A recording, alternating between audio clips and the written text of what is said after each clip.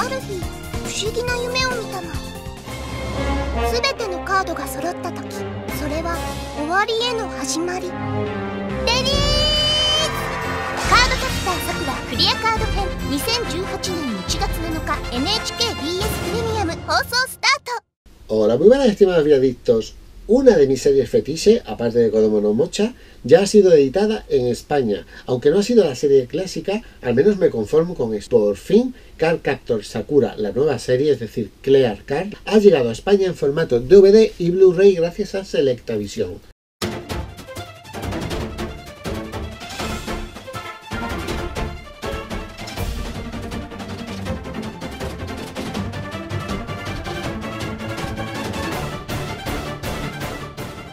En la edición Blu-ray coleccionista se divide en dos partes de 11 episodios de media, con dos discos Blu-ray más un libreto, como es lo típico en las ediciones coleccionistas de Selectavision. Si bien en el primer pack tenemos además un extra, que es una especie de ova a caballo entre el final de la serie clásica y la nueva serie, que afortunadamente viene con doblaje al castellano. Así que no perdáis de vista este extra especial y que lo disfrutéis mucho. ¿Será eso lo que hacen las travesuras? Eso creo. Bien. Vamos ahí lo transformamos. Sí. ¡Libéralo ahora!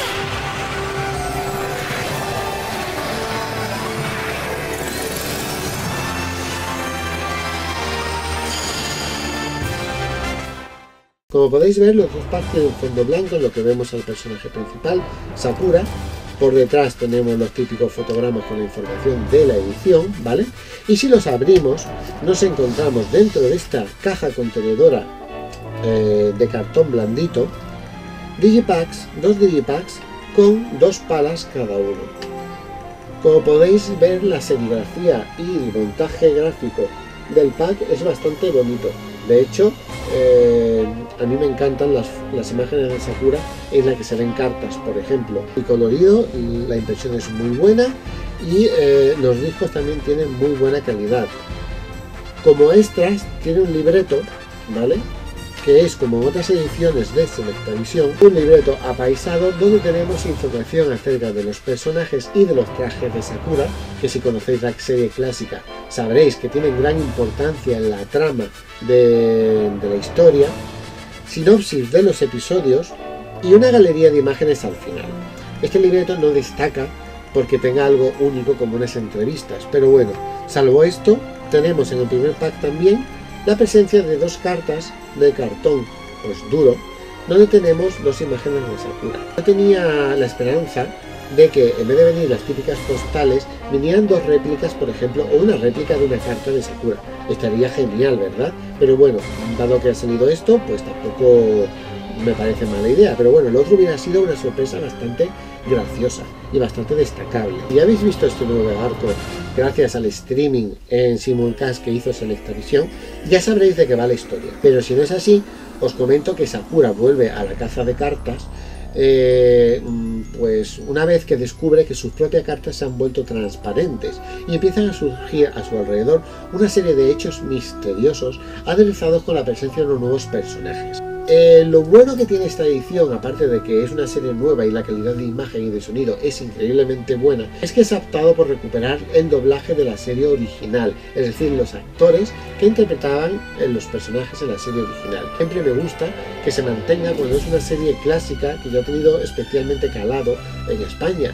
Por ejemplo, pues Dragon Ball o Saint a veces lamentablemente no, no, se puede conseguir, pero en este caso tenemos al menos los de los personajes principales que son las mismas voces, ¿vale? Ahora aviso que estos 22 episodios en estos dos packs no tienen final, es como si la serie no estuviera acabada y estuvieras pensando una nueva temporada que no sé si se hará o no se hará. Sería una putada que no se hiciera porque te dejan en un punto bastante interesante. Debo de decir que las clam en este caso me han defraudado un poquitillo porque es cierto que durante toda la trama se desarrolla un cierto misterio, que hay, un halo de misterio ahí que no sabéis exactamente qué pasa, ¿vale?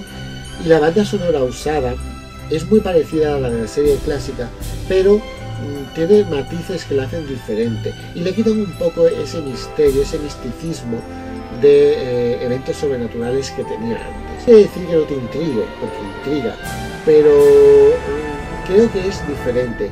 Desarrollar una historia de 70 episodios con un ambiente mágico no es lo mismo que desarrollar una historia en 22 o en 23 episodios con el mismo ambiente.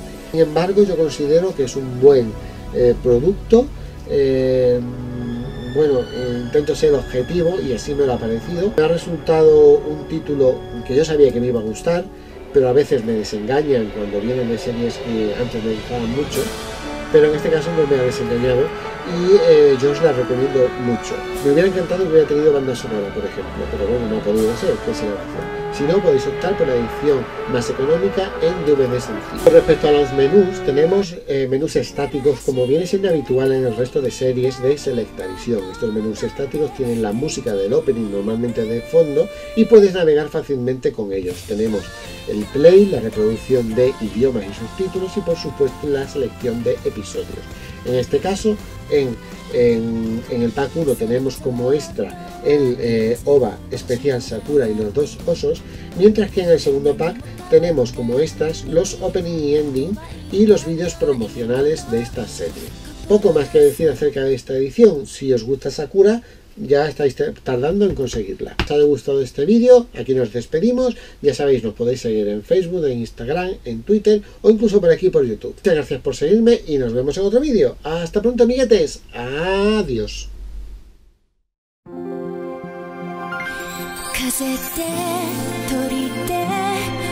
心より自由かな。